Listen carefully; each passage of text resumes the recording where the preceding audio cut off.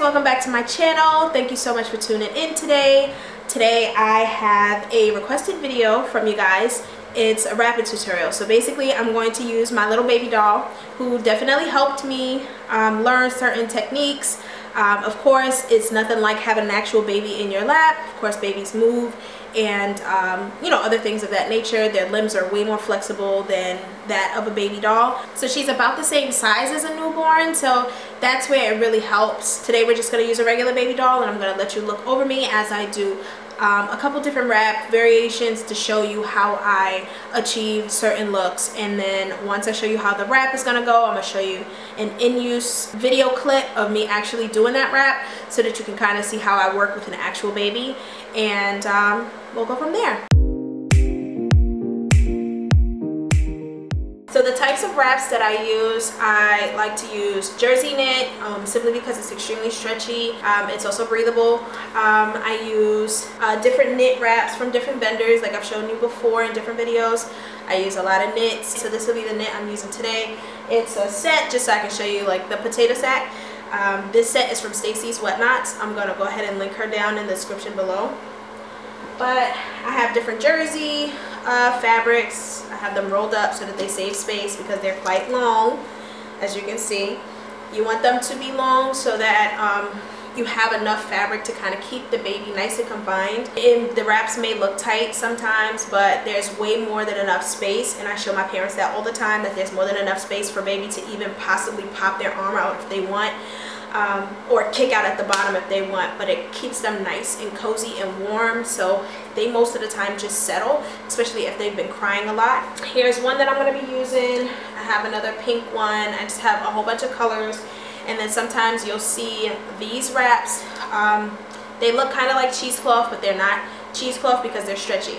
So I like to use these as well as textured wraps um, but this will never be like uh, just a solid base wrap simply because it's so flexible that it gives baby enough space to really like kick out. Um, I used to do that, learn my lesson. So first wrap we're going to start with is our basic wrap. This is the one that um, I use the most. I start every wrap with it. The best way I can describe it is basically figure eights. So I'll show you exactly what I mean when I say figure eights, but literally think of a figure eight. Okay, so here we have our baby and we're going to go ahead and start with the base wrap. So granted, I know that this is backwards. I'm going to shoot it again on the other side of me. I wanted to go ahead and just show you basically how it would look if you were looking onward as a parent. So I'm going to show you guys that and then I'm going to do it over my shoulder so you can see a different perspective. So first, I start off with a small tail to my, I'm right-handed, so I start off with a small tail to my left side.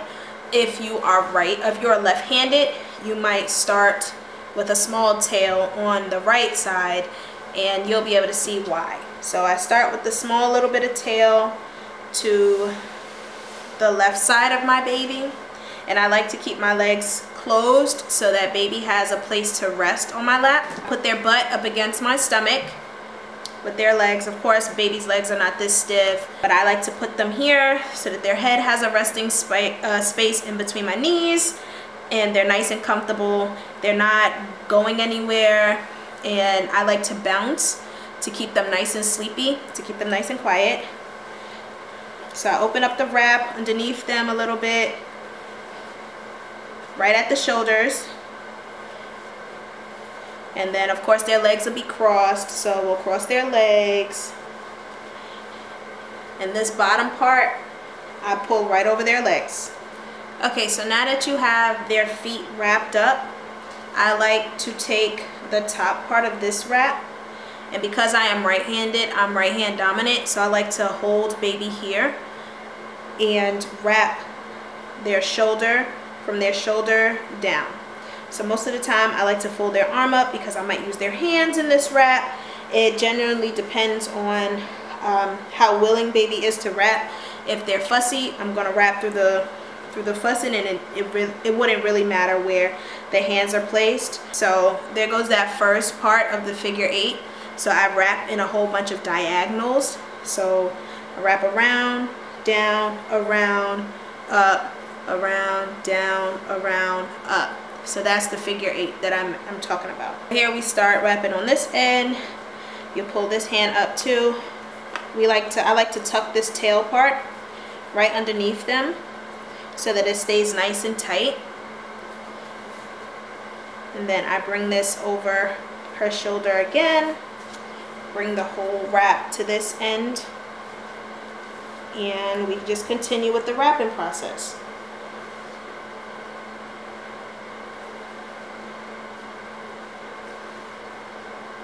So I like to tuck this back piece. I like to tuck that under their butt. And around baby. So I push my hand because I have this gap in my legs where I'm holding baby. So right here, there's a gap. So I stick my hand in that gap and I lift baby's head pushing their butts right against my stomach so that they stay nice and tight in this wrap. And I like to wrap it around their shoulders.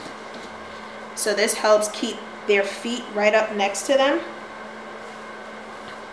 And then I do that figure eight motion that I was showing you before. So down, around, down, around, up, over the opposite shoulder, around, back down,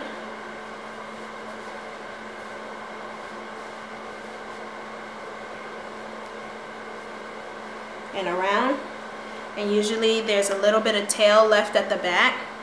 I either find a place to tuck it so that I don't have to hold them the whole time depending on how I'm going to pose them on the bean bag or whether I'm going to put them in a bowl. But this is how the wrap comes out. You want the tail on either side depending on which hand is more dominant for you. Again, I am right-handed. Uh, my right hand is dominant so I like to be able to hold the baby down with my more dominant hand. So here we are. We're going to first, we're going to fold baby's legs you want their bum right up against your stomach. This helps them to stay in place. So you want to grab this little bit of fabric down here and pull it right over baby's legs. You want to use this little tail first to go ahead and be your security for the first arm. So usually I'll go ahead and fold their arm here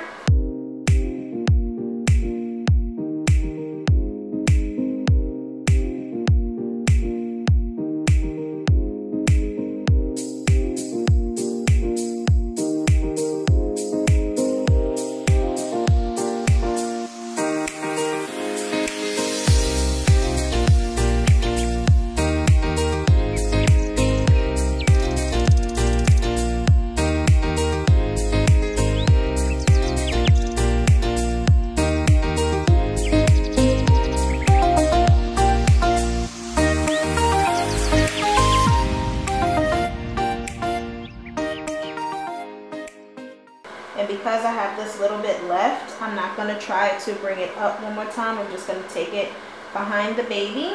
I have this little bit of tail left.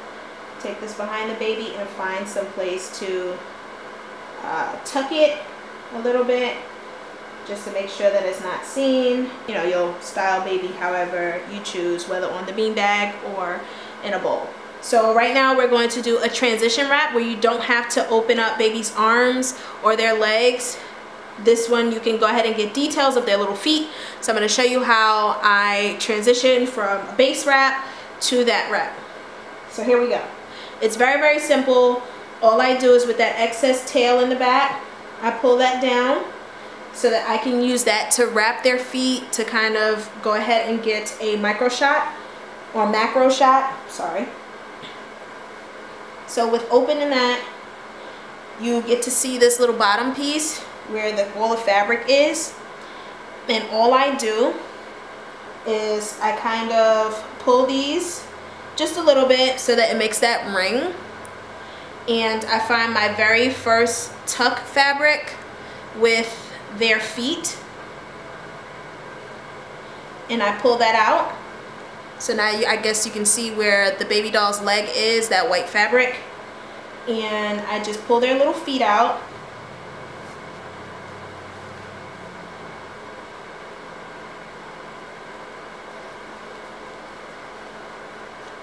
Of course baby will have knees, so the knees will still be tucked. But I just pull their feet out and I use this little tail portion. So again, I never unwrapped the rest of the baby. Baby is still in the figure eights, the original figure eights. I just pull this out and wrap this extended tail around the feet and tuck it just a little bit so that I literally just have uh, their feet exposed. And then a lot of people like to use like the little hearts or mom and dad's rings. So I'll go ahead and show you two examples of that. But that was extremely simple, very easy. You don't even wake baby. You don't unwrap baby at all. It's very, very simple and it's a quick transition. Okay, so now we're gonna try a different wrap. So this one is, it's really simple and we are going to wrap up the arms and just kind of let the feet peek through a little bit. And then the second one we do, we're gonna wrap the wrap right around their body so that it's just the inner part of their body showing. So like their tummy, their arms, and their feet. So first we're gonna start with the first one. We're gonna wrap up the arms. So you would hold their arms. This wrap doesn't need to go all the way down to their bum. It's really just focused on the arms at this point. So again, with the little tail, you take it, you pull it over the arms. It's a little harder with a doll because they don't have elbows. But you want to tuck it.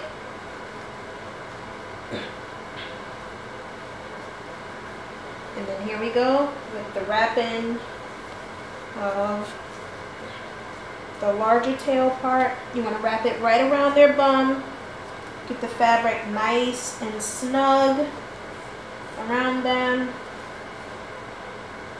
And here you are, you tuck it right under them. And you can either keep going or you can leave a little bit of a tail.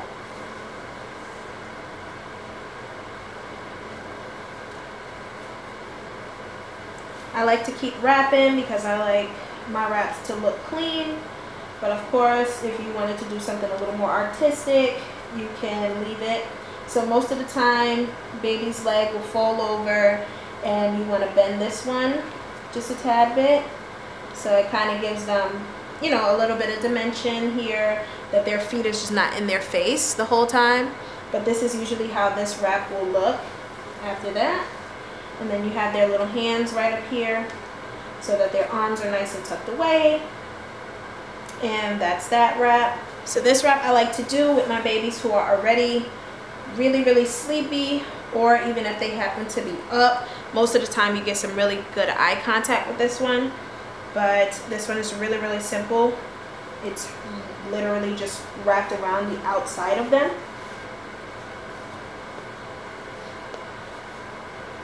So you tuck the little tail. We always tuck that little tail.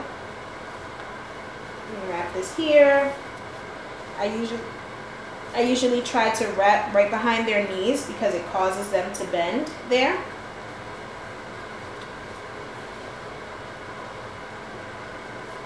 And I take it all the way around.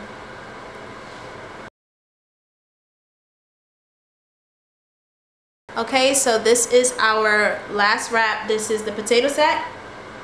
And um, what I like to do for the potato sack is I like to use three different wraps simply because you want baby to be as secure as possible. You want them to be nice and snug in there. You don't want to make it too tight, but you do want to make it tight enough where um, the baby is nice and confined, that their shoulders are kind of up by, of course, I can't really show you with a baby doll, but their shoulders are kind of up here so that their face has somewhere to, you know, to be stable on.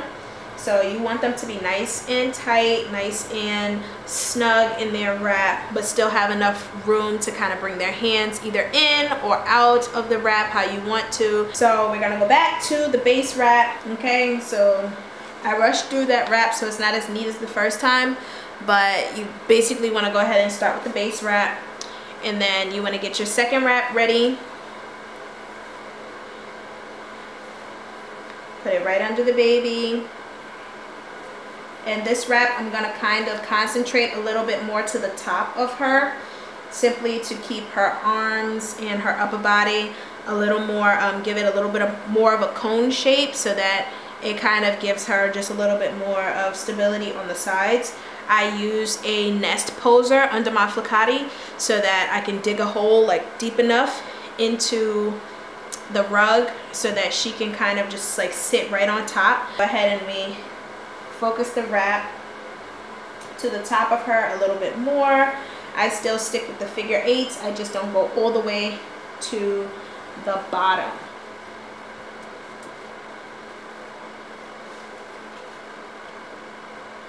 So some might be wondering, will you ever see this wrap?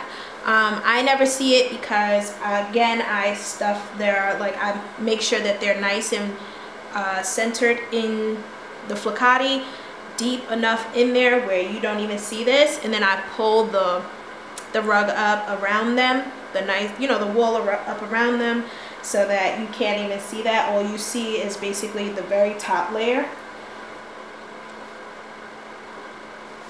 So again, you can see how it's starting to thicken up at the top. It's starting to give her more of a, a cone-like shape leading from her neck down. This again will help your baby kind of keep that leverage, keep their neck from like wobbling or tipping or anything like that.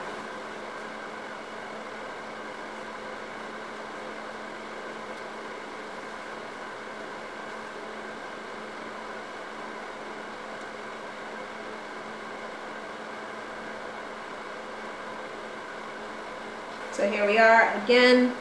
There is more than enough space to pull. So it's not tight. It's not tight at all. You can pull baby's hands up. You can pull them up. You can place them down. It's basically however you want to. But now baby has this leverage on the side where she won't, you know, rock or anything like that. So with these kinds of wraps, um, I actually like that these curl a little bit. Some people don't like that. I do.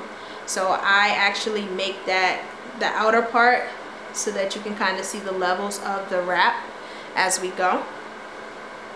So I like to center baby in these.